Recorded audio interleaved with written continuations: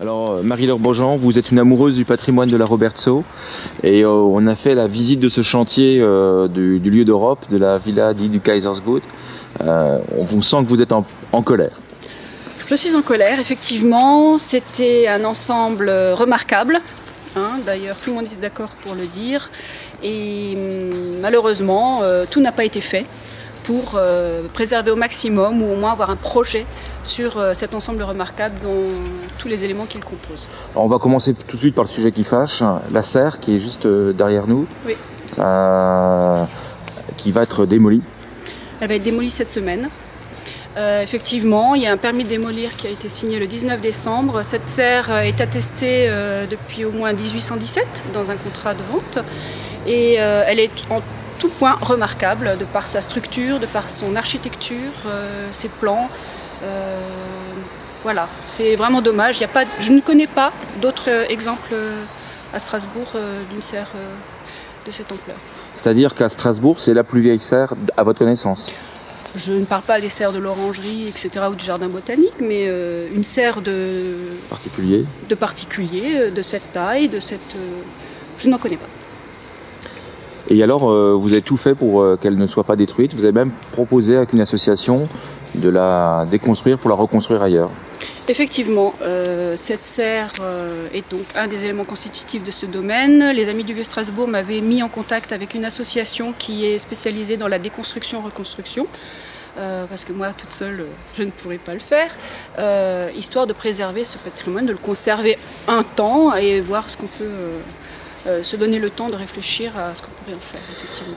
Et donc, la réponse Et bah, elle va être démolie euh, la semaine prochaine parce que la, ville la- euh, n'a pas réussi à trouver un terrain d'entente avec cette association en question. L'association était d'accord.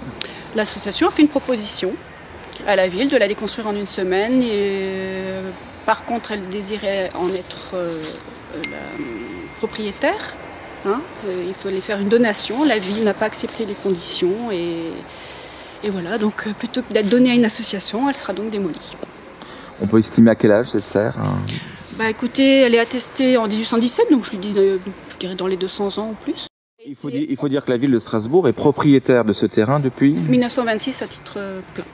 D'accord, donc c'est de la responsabilité de la ville Voilà. d'entretenir. Donc si la serre est dans cet état-là, Les c'est parce qu'elle n'a espaces pas été. verts n'ont pas empêché l'envahissement des plantes euh, qui ont troué euh, euh, la, la serre. Elle n'a pas été entretenue, l'entretien courant de tout, tout bâtiment ou tout, tout élément.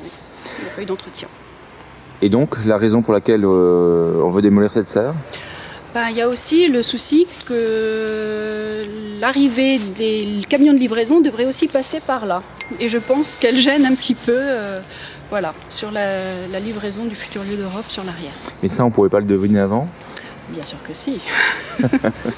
on aurait pu prévoir un autre lieu de livraison, on aurait pu prévoir un autre, euh, un autre projet. Euh, D'abord, il y, a- il y a les conditions du chantier euh, qui vous mettent en colère aussi. Parce qu'il y a plein d'endroits qui sont abîmés, euh, des objets, euh, euh, le puits qui est Alors, juste à côté plein d'éléments constitutifs en grès ont été déplacés, abîmés, détruits, cassés en mille morceaux par les engins du chantier. J'avais demandé à l'époque des hum, sécurisations d'éléments, justement, dont le puits de 1729, qui est cassé en mille morceaux. Euh, il a été cassé euh, récemment. Donc, euh, je suis d'autant plus. Le, le- le puits est de... 1729, hein, Donc, il porte il- la date. Donc il a résisté à la Révolution? Il a résisté à la Révolution, comme la serre, comme. euh, enfin, la serre, euh, on n'en sait rien, mais euh, comme des éléments intérieurs de la maison aussi, hein, des escaliers en fer forgé, des, des- des cheminées, etc., qui n'ont pas résisté à 2013. 13 sera une mauvaise année. hein.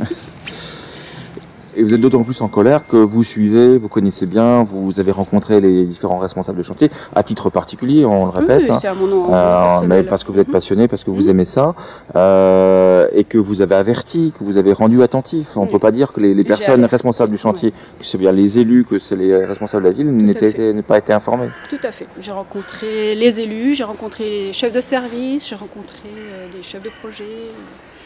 J'ai demandé beaucoup de choses et résultat, bah, rien. Le patrimoine est grignoté petit à petit. Donc là, sur la serre, vous avez fait un recours. J'ai fait un recours gracieux. Donc l'affichage du permis de démolir signé le 19 a été affiché le 6 janvier. J'ai fait un recours à titre gracieux euh, le 7. Euh, mais bon, Elle sera démolie. L'irréparable sera commis. Ce savoir-faire va disparaître. Moi, j'aurais pu patienter, j'aurais pu euh, aussi demander euh, que le, délai de recours, par exemple, euh, de un mois, deux mois sur ces permis de démolir soit respecté pour que des associations puissent prendre à bras le corps ce projet de sauvegarde. Mais on ne nous donne pas le temps et c'est bien dommage. Ces serres, ces éléments de plusieurs siècles ont attendu jusque-là pour être précipités en une semaine à la benne. Merci beaucoup.